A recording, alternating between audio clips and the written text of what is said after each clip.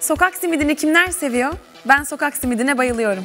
Benim gibi sokak simidi hayranı daha ünlüler var dünyasında, ünlüler dünyasında. Röportajımızı izliyoruz.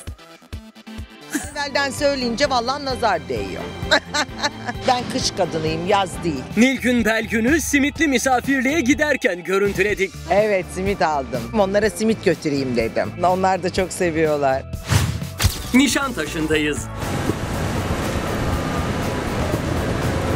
Havalar sıcak. İnsan haliyle yemek yerken zorlanabiliyor. Nilgün Belgün de çoğu kişinin başvurduğu yöntem gibi bir sokak simitçisinden sokak simidi alıyor.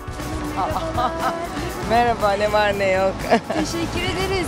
Simit aldınız. evet simit aldım. Sevgili Canan Yaka'ya provaya gidiyorum. Onlara simit götüreyim dedim. En güzel gezme hediyesi simit. E, eli boş gidilmez tabii ki örf ve adetlerimize göre. Buranın simiti meşhur. Evet meşhur buranın. Onlar da çok seviyorlar. Afiyet olsun. Teşekkür Nasılsınız? ederim.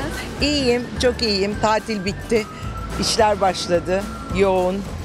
Provalar, yok efendim toplantılar, elbise provaları böyle devam ediyor hayat işte. Sır gibi sakladığı bir de projesi varmış Nilgün Belgün'ün. E var, bir şeyler var ama şimdi söylemiyorum. Başlasın ondan sonra. Çünkü evvelden söyleyince vallahi nazar değiyor.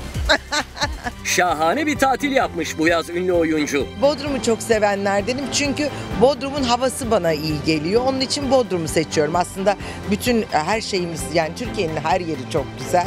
Ama diğer yerler nemli, Bodrum'da nem yok. Onun için Bodrum'u seviyorum. Biraz da çeşme yaptım, bitti işte. Büyükada'da kısa bir tatil anına şahit olduk Nilgün Belgün'ün. Büyükada da tabii var. Büyükada tabii vazgeçilmediğim o. Tabii çocukluğum, her şeyim adada geçti. Ama benim için tatilden çok açıkçası çalışmak güzel. Ben çalışmayı seviyorum. Yani daha doğrusu ben kış kadınıyım, yaz değil. Mecburen yapıyorum tatilleri.